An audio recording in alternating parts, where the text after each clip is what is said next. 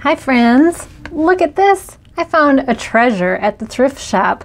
It's called Look and Do, and I have some activities for you to do. You can follow along. Our first direction is to raise your hand.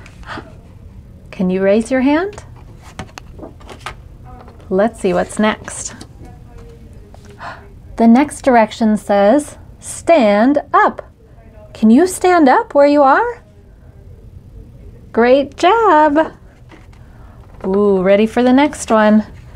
The next direction says jump forward. Can you take a big jump with both feet? Great job. Let's see what's next. Our next direction says march.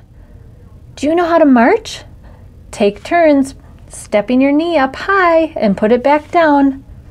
You could pretend like you're in a parade. Let's see what's next. Our next direction says walk forward. Use your walking feet and walk around right where you are. Oh, our next direction is very peaceful. It says, close your eyes. Just relax. Take a breath and close your eyes. Our next direction says, open your eyes. Can you open your eyes really wide? Great job. Our next direction says, turn around. Can you turn around in a circle? Spin your body all the way around. Great job! Can you do it again? Beautiful work. Our next direction says, bend down. Can you bend your knees?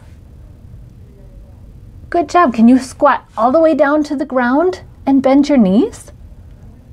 Great job. Ooh, our next one is very tricky. It says, walk backwards. Can you walk backwards? Take your time. This one can be really hard to do. Good job. Ooh, our next one is very relaxing too. It says, lie down. Can you lie down where you are? Maybe it's on the floor. Maybe you're on a chair. Maybe you're on a bed. Lie down. And our last direction is Sit still. Oh, it feels relaxing to sit still after following all those directions. Great job, friends. You are really good at following those directions with your bodies. Great listening. We'll see you next time.